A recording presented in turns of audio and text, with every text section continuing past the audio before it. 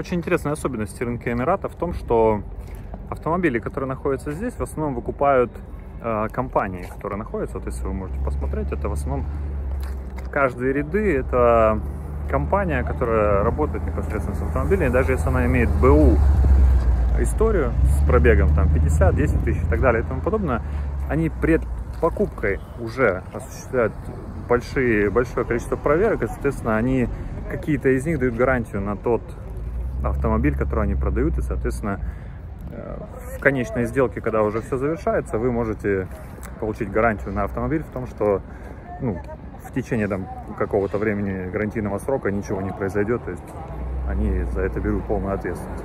Соответственно, если вам и этих показателей мало будет, очень много сервисов, находящихся на территории Эмирата, где вы можете перед покупкой осуществить те же самые проверки мотора, подвески, ЛКП, что убедиться в том, что вы купили автомобиль, который прослужит вам очень долго.